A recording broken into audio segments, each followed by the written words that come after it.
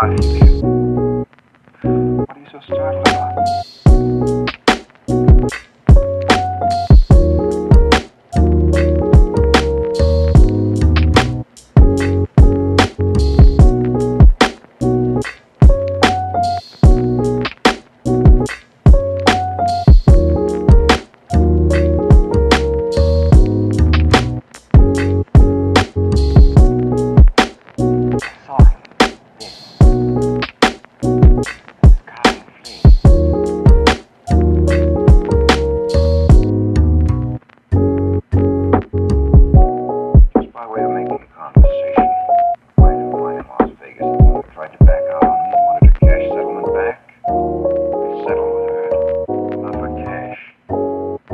Mike.